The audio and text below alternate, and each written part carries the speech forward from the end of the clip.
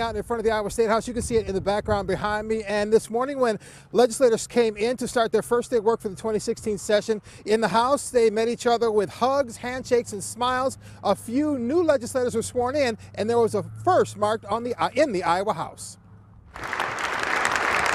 Republican State Representative Linda Upmeyer from Cerro Gordo County was officially sworn in as the Speaker of the House, the first female ever to hold that leadership position in the Iowa House. Please raise your right hand. The first female ever to hold that leadership position in the state of Iowa, but not the first from her family.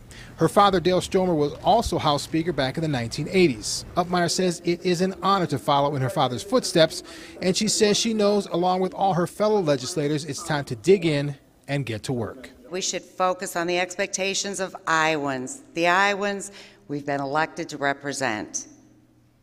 Our constituents expect us to listen to them, to bring their ideas and concerns into this building, share them, and use them to do what is right for the future of our state.